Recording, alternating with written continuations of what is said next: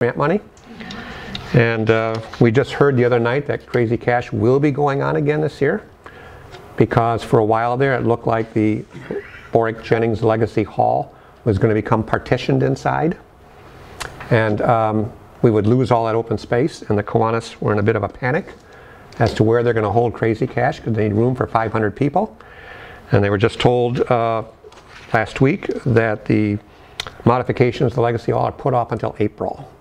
So Crazy Cash is March 3. So we're good. And um, the Historical Society will be considering whether to apply for a grant of some sort from Crazy Cash. It's a great way to get some funding for these kinds of projects. So a lot of what you're seeing here tonight is a result of Crazy Cash from last year. Okay, um, let me begin by telling a bit about the background of this talk. Um, about a month before Sesquicentennial started, um, I had an email from um, Kate Spruitt McGough, who's sitting up here in front. You and Rory want to stand for a minute? Kate Spruitt McGough and her husband Rory, they bought a house out on Sharon Hollow Road, uh, north of Pleasant Lake, up to what I think is almost Grass Lake, like kind of way up there. And um, they just bought the house and they were curious about the history of their house. I mean, they're one of about 50 requests we've had just this year. And um, we were in the middle of sesquicentennial, so we had to hold off for a bit, and uh, finally got back to it. And um, so I contacted Kate, and she says, um, well, our house, we were told our house was built in 1917. It was the Paula Curtis home. So if any of you that know Paula Curtis, it was her home. Um, she had moved up to Chelsea to retirement community. The house was sold, and they bought it. And um, so I started doing some quick research, and um, they said the house was built in 1917. But if you look at the 1856 and 1864 Sharon Township plat maps, there's clearly a house there. The Henry Rowe, the Rowe family was very big in the early days of Sharon Township, uh, Rowe's Corner, all that stuff. And the Rowe family was all over the place in Sharon Township. And their property was owned by Henry Rowe, and the little plat map shows a house exactly where their house is sitting. Same thing with 1864 plat, 1874 plat. The owners are changing. It went from um, the Rowes to the Hines. And then in 1915, which is the closest plat map we have to the date they were interested in, um, it's Fred Brisley. So I said, this is kind of strange. They said, we have a four square house. So I went out and looked at their house, and clearly it's a four square house. This is a 1910s, 1920s house. It's not an old, old house. Um, so the theory kind of stuck my mind, were they hit by the tornado? Because I knew the 1917 tornado came through that area. So I went and visited. So what I'm going to do is show a couple of pictures. If you could just talk about what you're doing with the house mm -hmm. and what may be still original from the 1800s on it. So let me get that slide up there. So anyways, this was just kind of illustrating the topic. It's not necessarily any particular tornado around here or anything like that. Uh, but, uh, okay. So, your house.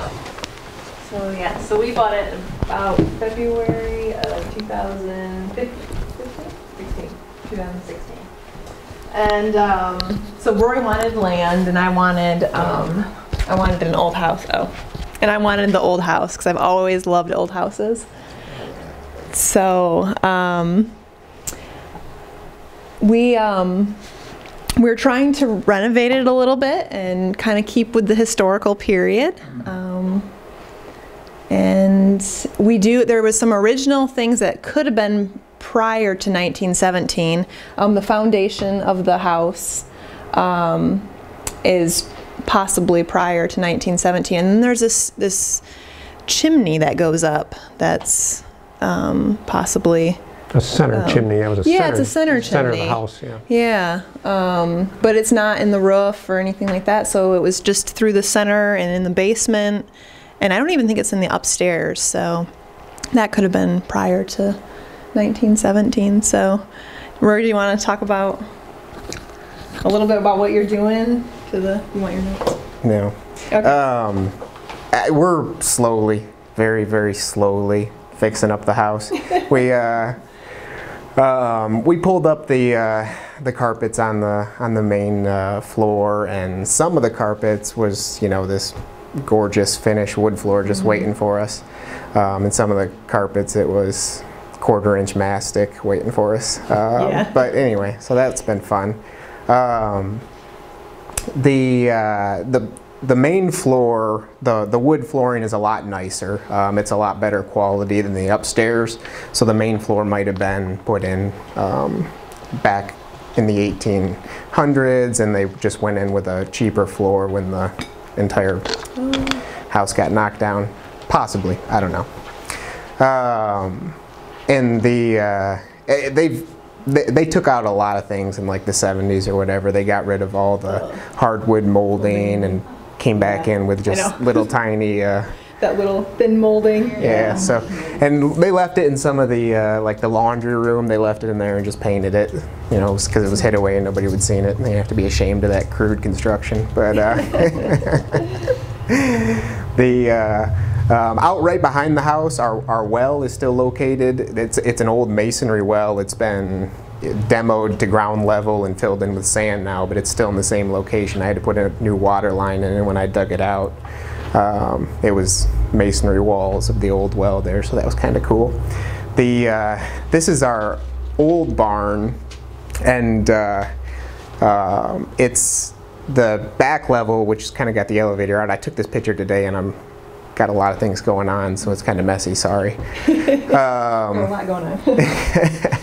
but the uh, the main floor there, you drive in, and that was like the hay, um, the hay storage, and then underneath would have been for animals.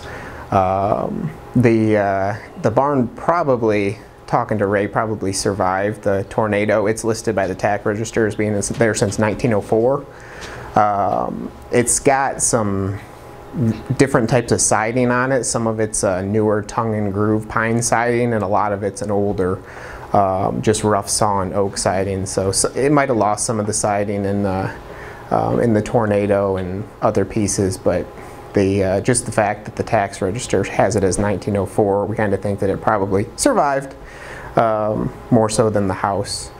But um, I think uh, uh, the the barn's kind of cool because the uh, the design of it would have been for like to back um, back a horse-drawn wagon in and uh, stack it all with loose hay and uh, the original rail and uh, and hook for the for the barn is still hanging up there. It hasn't been touched in I don't know 100 years, but it's still just hanging up there. So, but Anyway, so the barn needs obviously some uh, some TLC. We'll end up residing it before too long, but a lot of fun. It'll go slow. We got a couple Yeah. kids and a lot of things going on. So Two and four. So.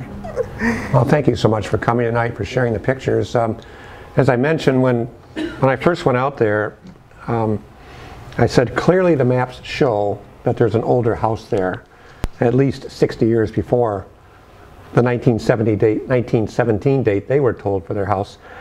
And I went out there and looked at it, says that's clearly a, a four square house. It's, it's more, more of a modern design.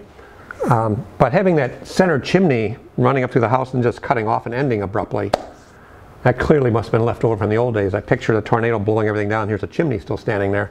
And they just boxed it in and put in a different heating system. So um, it kind of got me going on this.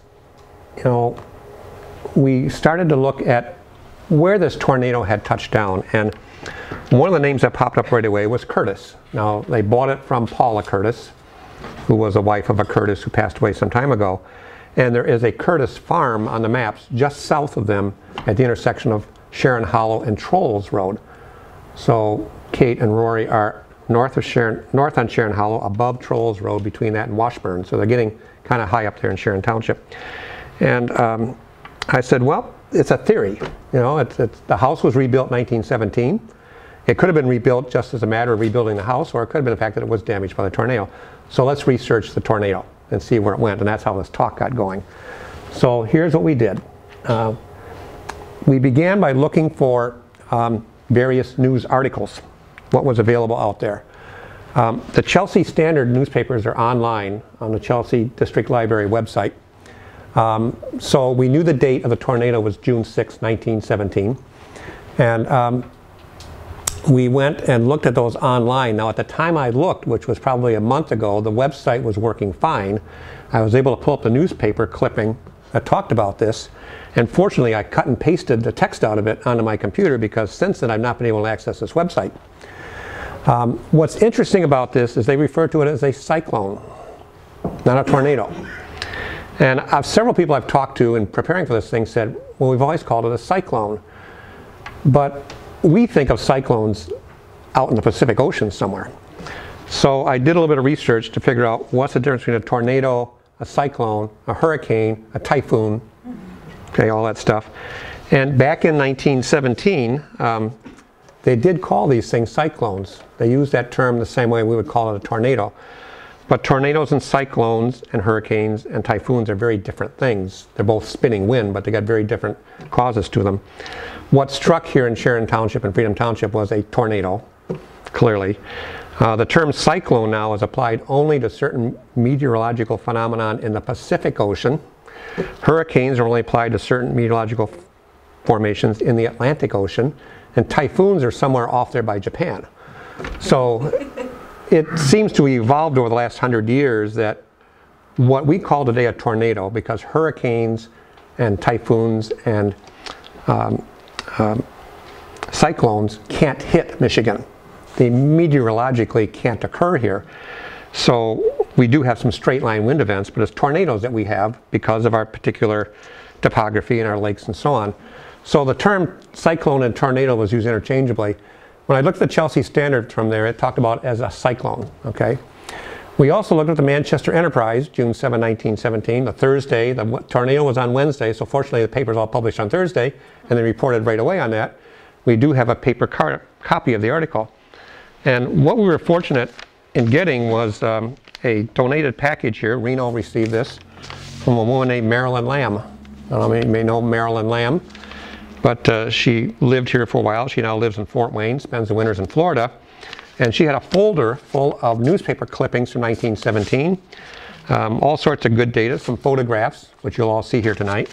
So we benefited immensely from that. And in there was the Manchester Enterprise from June 7, 1917. And it's got a, the details in there. And both of these articles talk about it started here at Farm A, Farm B, Farm C, Farm D. It's naming all these people. And they're trying to follow the path of the tornado. Okay? Uh, we found an article from Manchester Enterprise from 1989, which is basically a reprint of the June 7, 2017 article, 1917 article. It added a photo. I'll show that in a minute. And then we have found an article from um, Bob Miller gave this to me. Somebody named M.S. Kleinensmith here in Manchester. He's a current member. He's a member of the historical, He is. yes. What's his first name? Michael, Michael. Klein. I've never met him. Well, he lives in Florida now. Oh. Okay, well, in uh, June, June 6th, in May of June of 2001, he wrote an article called Looking Back, and he traced the tornado all the way from Kalamazoo over to Ann Arbor. And he's got a page here just dedicated from Sharon to Salem Township. And he's got a lot of the same information, but different, some different things in it. So we had these resources through news articles that we tried to pull together the most information we could find about who got hit by the tornado and what kind of a path did it take. Okay. We also consulted Reno Feldkamp, who's our resident expert here in Sharon Township. Uh, he's got a lot of stories. He'll add some details here later on on the tornado.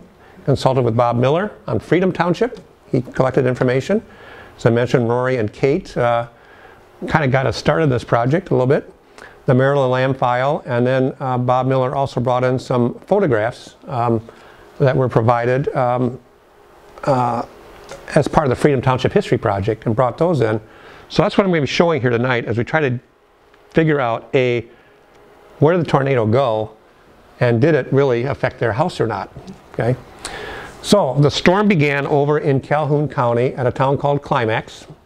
It's been documented, it moved through Battle Creek, came through Jackson County, and entered western Washtenaw County in Sharon Township.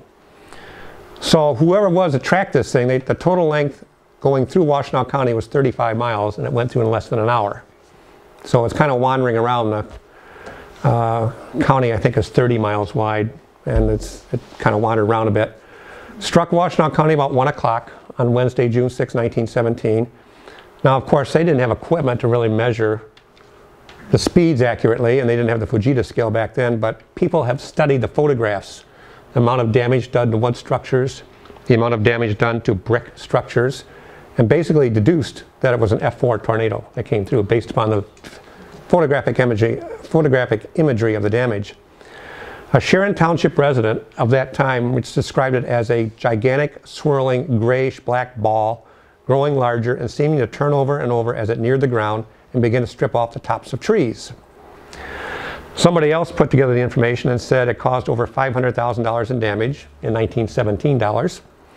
Uh, 150 buildings on 50 farms were hit, rated F4, killed two and injured 27. Now, in all the records I've looked at for Sharon and Freedom, nobody was killed. There were records back then that said people were killed, but it turned out those records aren't correct. So whoever was killed, it was outside those two townships where that particular personal injury occurred. Here's the 1917 Manchester Enterprise article. I know it's difficult to read, kind of. Uh, I mean, they printed newspapers in 1917 with about a two font. I mean, it's just, I don't know how people did it back then without glasses. That's, those old enterprises are terrible to read. So in this article, the reporter talks about heavy property loss, and he does this starting at the west side of Sharon Township and moving along through Sharon Township and then going over to Freedom Township. So he's going west to east following the tornado. And he names specific farms or farm or homesteads and specific people. Okay. Um, that's the second page of it. This was the 1989 version that was reprinted, and it turns out it's the exact same article. So in 1989, the Enterprise reprinted that same article, much easier to read, of course, and they added a photograph on there, which I'll show in more detail later on. Okay, this is Klein and Smith article from 2001, and again, it has additional data. I don't know where he got it from, but he's got additional data on the people involved. And what we were specifically looking for was Curtis family, because next to the McGough's family is the, they bought a Curtis farm, and then um, down the road on Sharon Hollow by Trolls is another Curtis farm. And as you'll see here, when you look at the 1915 map, there were Curtises all over the place. There were more Feldkamps you can possibly count. All these different Feldkamp farms, trying to keep them all straight. Now, who are they talking about when they just say, the Curtis farm was damaged? Which one? Okay? So, from these articles, the Detroit Free Press also reported on the tornado. So we found this article on the Free Press. Here they're more concerned about Ann Arbor and Chelsea. Okay, so they they're picking up after it's left Freedom and it's moving still northeast up into um, uh, Lima Township and uh, Lodi and up in that area there. So they talk about specific people, but there's nothing in here about Freedom or Sharon. We just didn't matter to the Detroit Free Press, I guess. So I went through all these articles and I listed every name that was brought up in there in Sharon Township and Freedom Township. If there was a first name, I put it on there. Uh, and uh, some notes about slight damage, total destruction, people injured, and so on. So you see here names like Richard Curtis showing up. Now that's the farm that in 1915 was closest to McGough's house. It says major damage. Um, some people just had their windmills. Some had total destruction of the farm. Farmhouse, barns, everything came down. Um, it got very specific around Sharon Township. Sharon Township Hall. They call that Sharon Center, may still be called that Sharon Center. The original Sharon Township Hall was totally destroyed. I just learned doing this paper that the original Township Hall was on the south side of Pleasant Lake Road. And on the north side was a church and the cemetery. Okay, when they rebuilt the Township Hall, the church was blown away. They rebuilt the Township Hall on the north side of the road. So I, I marked down every one of the people involved with as much detail as I could in Sharon and in Freedom Township. So we have Ed Baker and Sharon Hollow over by the Sharon Mills now, slight damage. Richard Curtis, Ernest Smith, Ernest Raymond, what was then the George Curtis home, the former Samuel Smith family. These people are all on Pleasant Lake Road. Right as Pleasant Lake comes up out of Sharon Hollow, curves around and straightens out. All those, like the tornado was going right down the center of the road.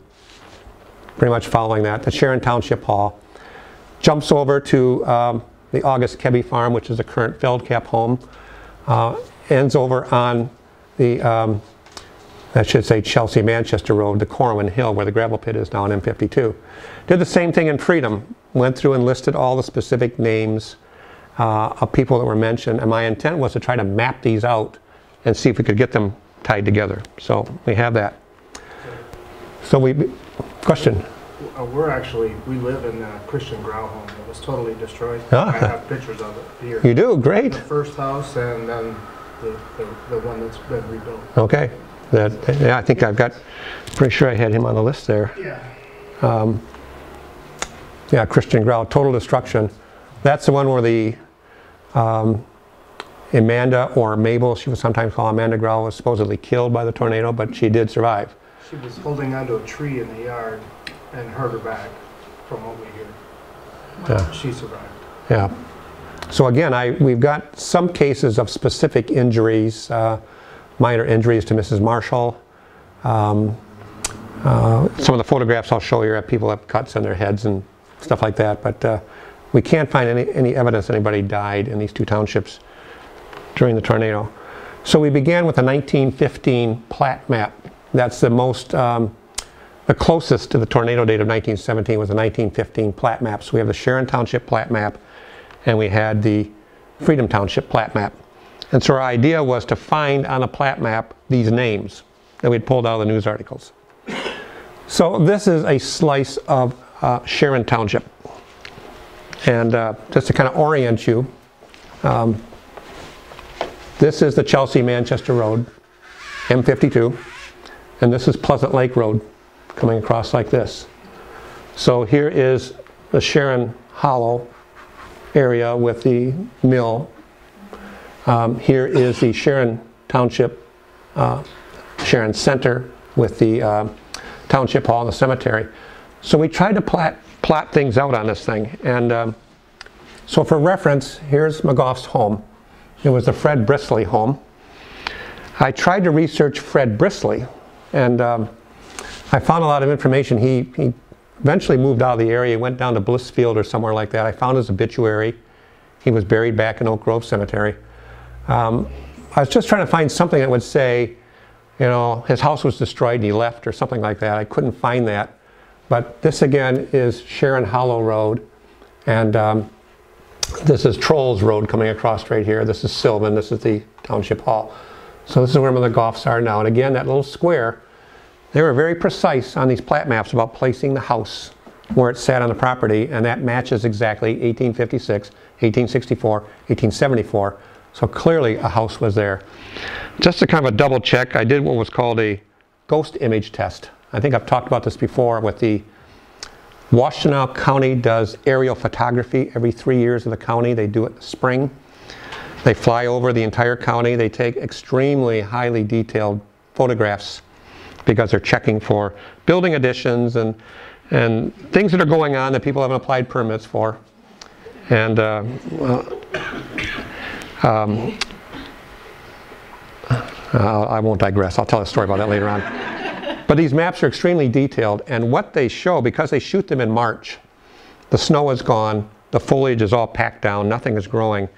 And if there was a house somewhere on a piece of property or a barn with a foundation and it's gone now, you will see what I call a ghost image, a little rectangle or a square that says there's clearly was a house there because the soil got compacted, the stones are still there, and you can see that. And we've helped a lot of people find their ancestors' home from the 1850s by going on this website.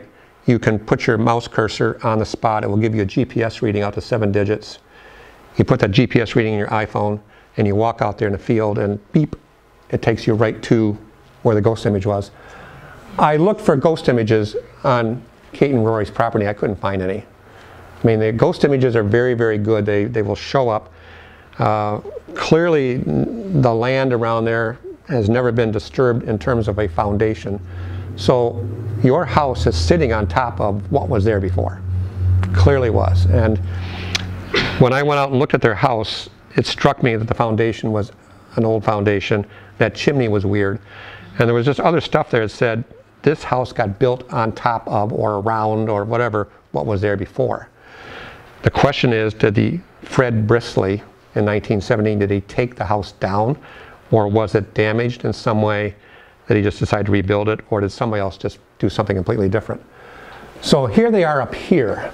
Now, when you look at the news articles that I mentioned earlier, the first article talks about Ed Baker. So this is Sharon Hollow. Here's where the river comes right through the mill pond. The mill is right there. Ed Baker's property had minor damage to it.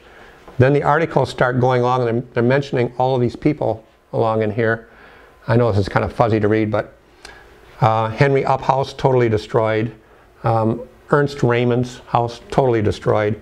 So basically, you're following up Pleasant Lake Road. Samuel Smith, property had been bought by an Ed Curtis just before the tornado. And the article talks about how he had made one land contract payment and the whole thing was destroyed. He had no insurance. None of these people had insurance back then. So pretty much everything in this area here suffered serious devastation. The one article I read talked about a Richard Curtis. So this is the closest house and property to the McGoughs. And um, I drove out, when I went to Kate's house, I drove in there and it looked to me like the barns and the house were newer, meaning early 1900s, not 1850s or 60s. So we're not totally sure. If, if something damaged here, would the tornado's effect reach out that far to where you out there on Sharon Hollow Road? We don't know for sure.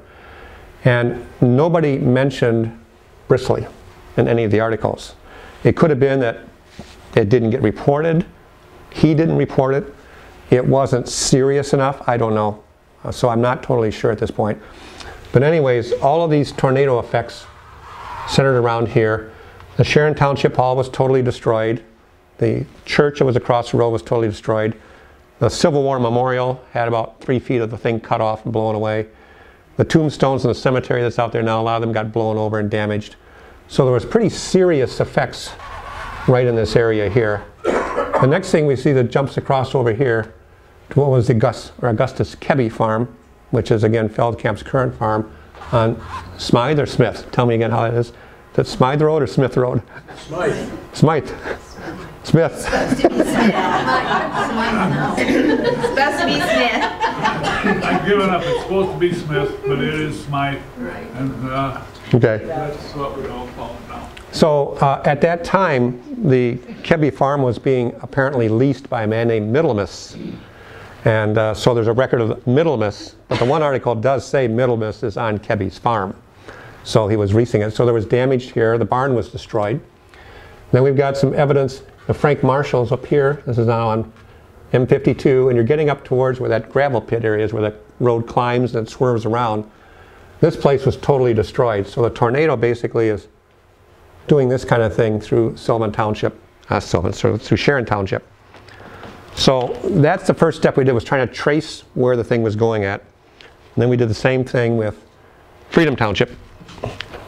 So we picked up here, totally destroyed the Geyer Farm, Wanks, uh, Leffler's, Lewis Geyer, Gottfried Grau, I guess that's how you growl, right there. Um, the Zion Church, the parsonage, um, uh, all of these properties all had damage reports for them. So it looks like the tornado is still doing this kind of a thing and eventually heading off into uh, Lima Township. And uh, like I say, we did have a report from somebody who saw our Facebook post about this talk that her relative's farm was damaged on Steinbach Road in Lima Township. So that we only took it through the two townships. We were able to track down which places were actually damaged and reported in articles, able to trace that. So here's one photograph. Uh, this is the Ernest Raymond Farm on Pleasant Lake Road between the Sharon Township Hall and Sharon Mills. Um, the rear of the farm. I'm not sure what Waldo and Leroy Marks, Milton Vanderbilt and Arthur Scheibele have to do with it, but that's the farm. That's the photograph from that time, so it's pretty well destroyed.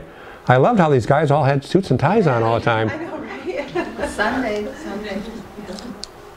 I don't know if they're out there on Sunday or they just got dressed up for the picture, but uh, they're there. So that's the Ernst Raymond farm. We do a photograph of the damage on that one. Um, this is Sharon Township Hall.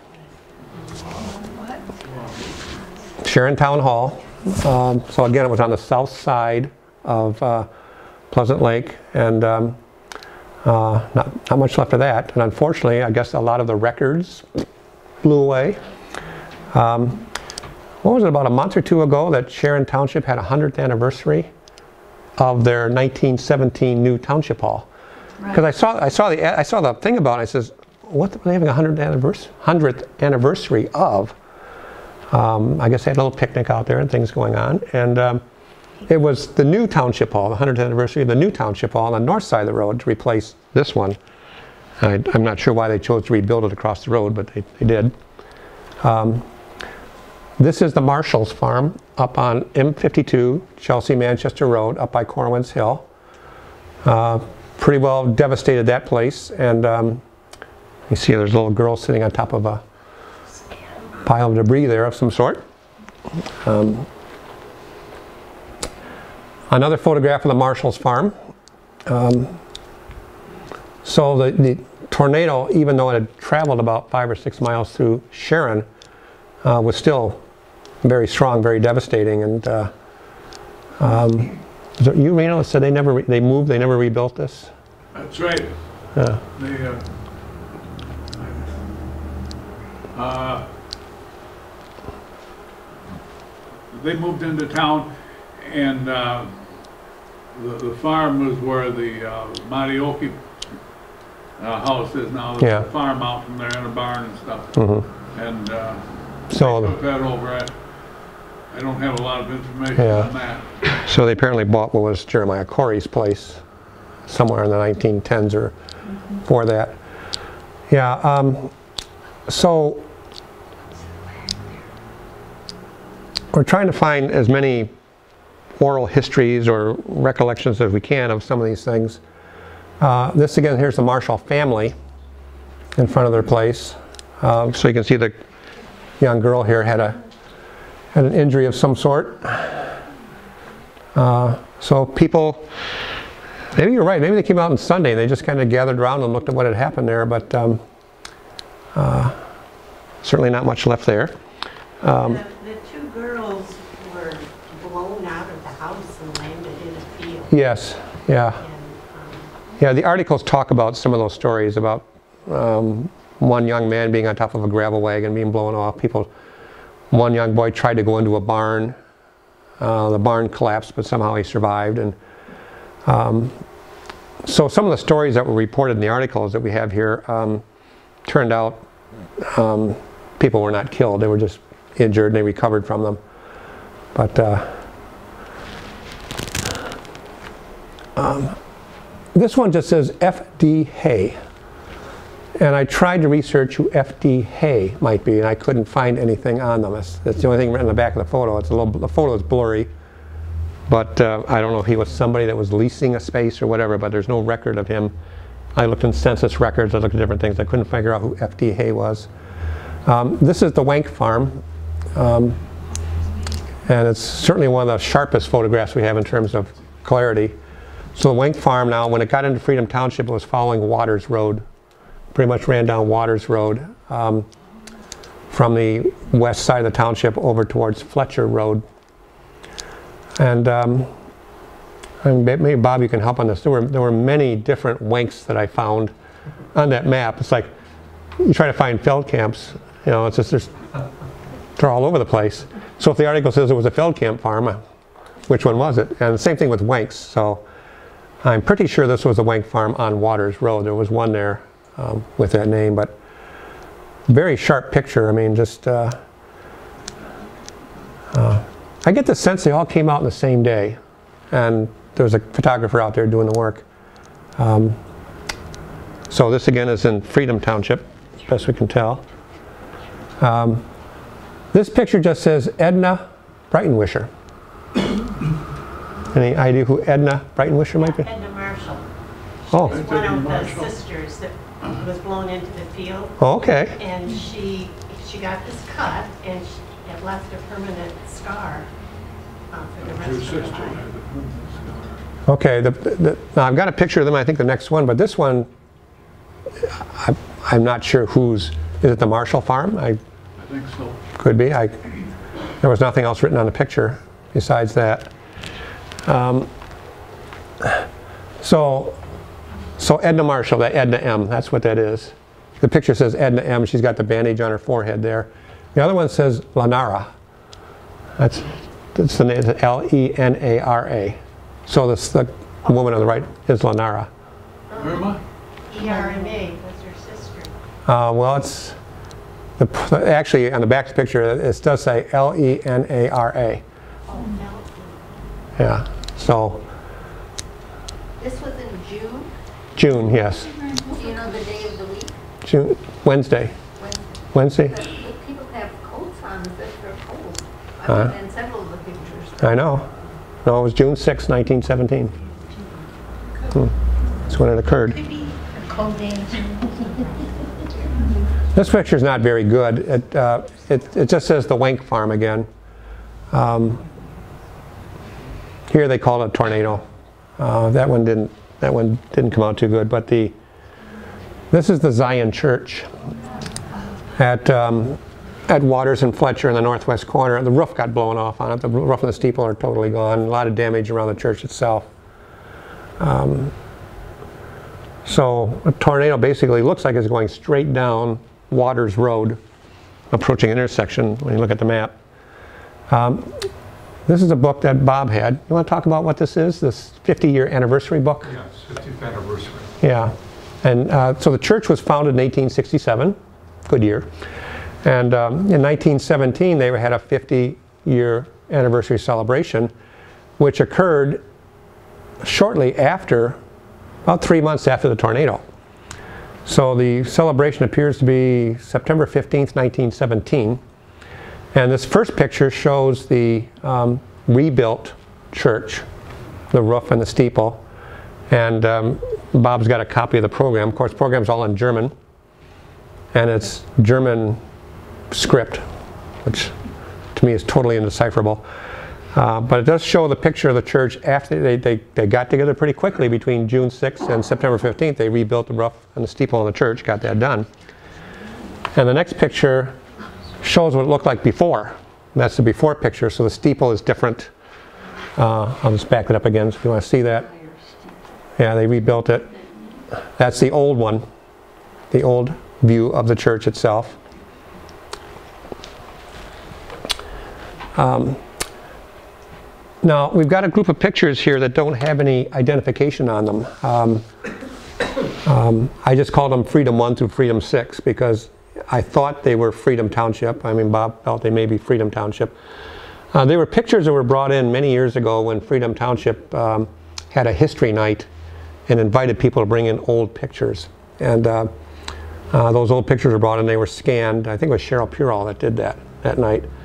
And she scanned a bunch of pictures, but the people who brought the pictures in didn't know exactly what they were. So this one is apparently somewhere in Freedom Township, and um, way in the background, there's a church steeple back here. It doesn't show up too well on the screen, but there's a church steeple. So we're trying to, you know, figure out what am I looking at there? Where am I?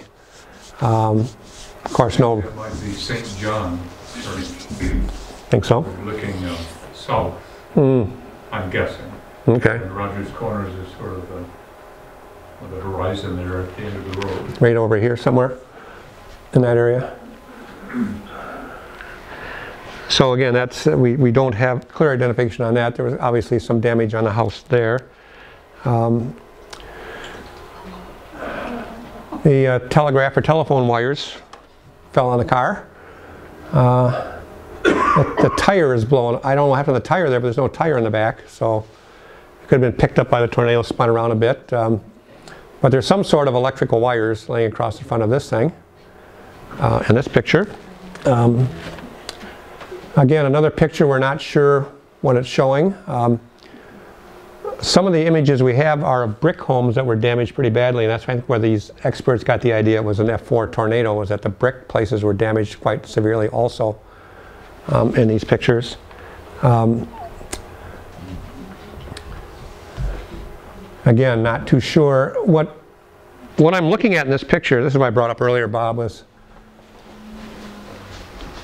this, this thing right here looks like a metal rail. And I'm wondering if this picture was taken along the trolley, the trolley line, so it's actually on Jackson Road. It's in Lima, not in Freedom. But uh, it looked to me like, plus you got those poles that look like they're carrying a telegraph line or something involved with the railroad. It just, if you look at the picture, it just looks like there's a straight rail thing running across that one there, but uh, it could be up in Lima somewhere along Jackson Road. We heard that the last damage was at the corner of uh, Jackson and Wagner Roads. That could be, yeah, up in, And the mail from Freedom Township was found as, that way as Livonia. Livonia, Yeah, I think, like Garden City, Livonia. really. Showed up like months later, somebody said, hey, by the way. By the way, we found this mail. Um, We haven't been able to identify where this house is specifically, but uh, basically just lifted it off the foundation and set it down bounding. So, life in a crooked house. And then we've got one more. Um, If you look at the 50th anniversary celebration book of Zion Lutheran Church, they have a picture of the parsonage in there, and it looks just like that. And I'm speculating that that might be the parsonage of Zion Lutheran Church. That's not certain of it, but the window fenestration and the shapes of the roof and everything are. Yeah, that house is It still there. So that is it, huh? Yep. Yeah. I've got it right here, it says Zion Parsonage. Okay. Very good. Thank you. Ray, the problem is, the uh, history of the church tells that the meeting, a meeting was held on two days later in the parsonage by the board to determine what to do with the church. So I don't think they Well, could have met in that. uh, could, could still be in one piece enough to do that, yeah. Yeah. Um, Yeah, so um, our goal was really to try to figure out exactly where this tornado struck, what records we had of it. Um, uh, Like I say, not, we don't have photographs of everything, but clearly from the reporting that was done, we could trace the path of the tornado through the two townships we were looking at. And we've had reports from Lima, and uh, um, obviously you've got, you've seen other reports of, of different locations. Um, uh, tornado did go on at least up towards Ann Arbor. Um, the, we'll put all this into our archives. Um, if people have other photographs or news articles or any kind of recollections, we'd like to get that and scan that and put it into our collections also.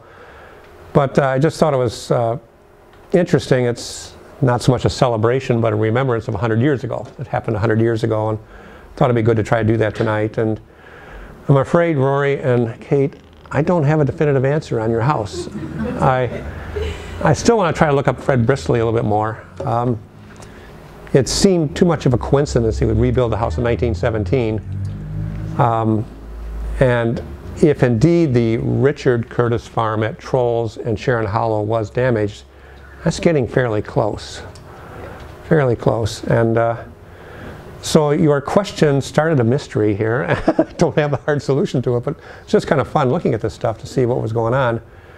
Um, uh, anyone else have comments? You- Anything else you want to add to your?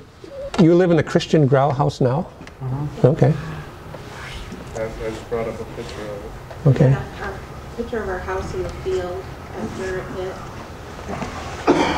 Some of the ones you don't have. Oh yes, yes. That was a direct hit, the church, There's a church. Rogers Yeah, there's Rogers right there. Okay, I see it. so that's looking east. Yeah, we'd love to get this.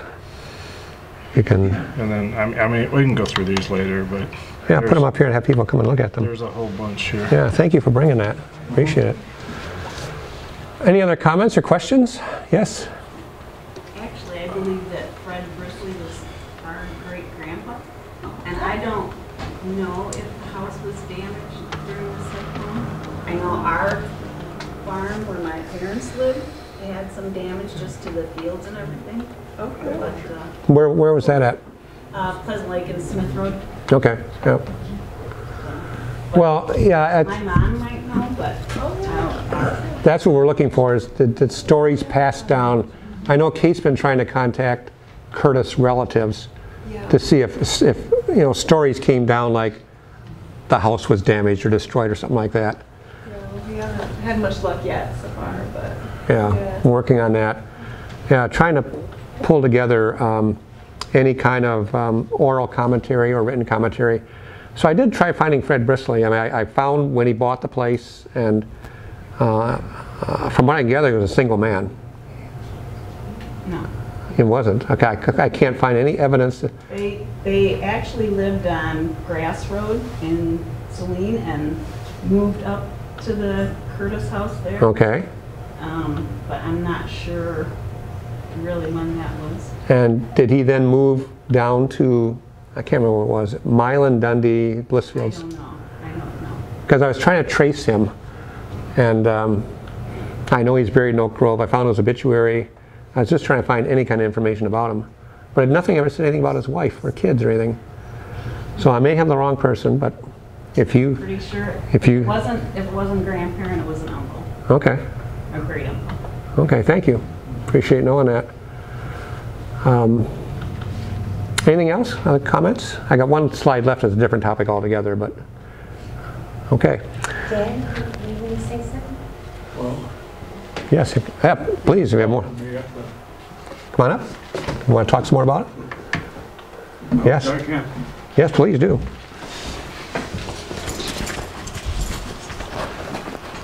Well, anyhow, uh, uh, several conversations about the topic, and so he asked me to put together. Okay. Uh, uh, he asked me to put together what I remember, and uh, I remember my father, uh, Anton Feldkamp, who at that time was 24 years old and living on the farm that uh, many of us came know, to know as the uh, Dwayne Hazelworth place, and he um, he saw that tornado, and he was. Uh, uh, shortly down to the Marshall farmstead and remembers Edna and Irma um, coming out of the wreckage of that home. Uh, Irma was the one that had a permanently damage uh, to her forehead, carried a scar the rest of her life. I knew that woman only slightly, and I don't remember the scar. Maybe uh, she wore her hair in such a manner that kept it covered. But um, uh, uh, there was a report that Edna was the one that was uh, injured. It was uh, they were both banged up, but Irma is the one that had the permanent scar. I, uh, I'm having trouble reading my own writing here. Um, and uh, I'm, I'm quite sure it was my dad that, that, uh, uh, that told me about that. And yet it seems like somebody else was involved, but uh, uh, I'm going to credit my dad with giving me that information.